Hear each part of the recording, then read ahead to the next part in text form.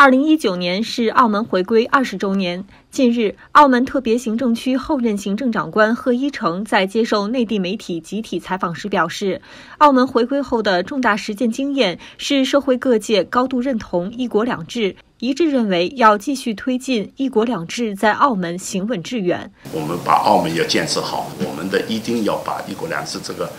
伟大的国家的在政策，我们一定要落实好，这就是我们的目标。我们以后要怎么实践好我们一国两制？我们把这个社会，第一稳定，第二还是稳定。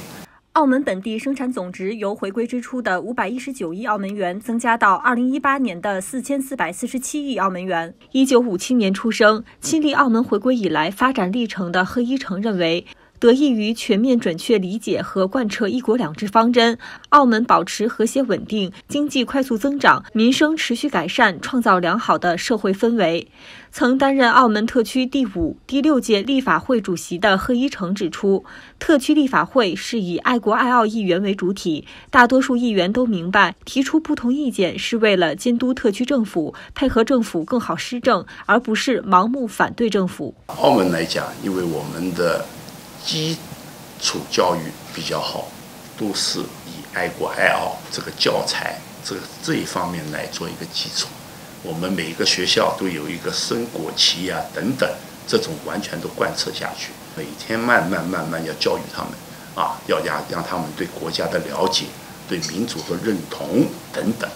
贺一诚强调，面向未来，澳门和谐稳定的社会环境、爱国爱澳传统及国家情怀是不能变的，不然会对自身造成极大的负面冲击。虽然澳门社会团体众多，社会结构多元，不过各界有着共同目标，即建设好澳门，贯彻落实好“一国两制”。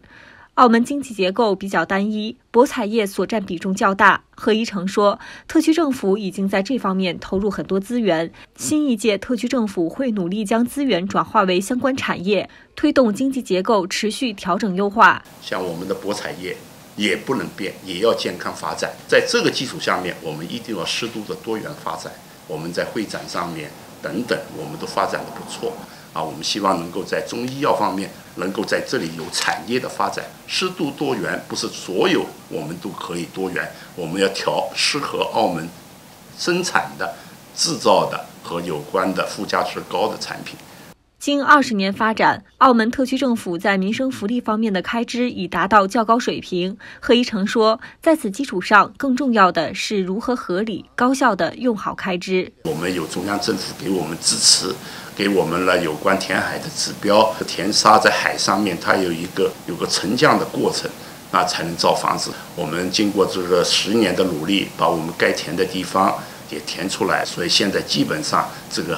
也可以建造房子了，所以我们明年呢，把基础设施投资，让老百姓能够在住房上面解决一部分。二零一九年初出台的《粤港澳大湾区发展规划纲要》将澳门列为大湾区四个中心城市之一。贺一诚表示，大湾区内城市间绝非零和博弈，而是彼此优势互补，共同建设创新能力突出、要素流动顺畅、生态环境优美的国际一流湾区。大湾区它是一个粤。澳三个地方的大湾区，九个城市再加两个特别行政区。那澳门作为在里面体量最小的一个行政区，人口最小、土地面积最小的一个地方，那我们怎么和我们整个大湾区的融合？这是我们要放在我们的第一位、首位。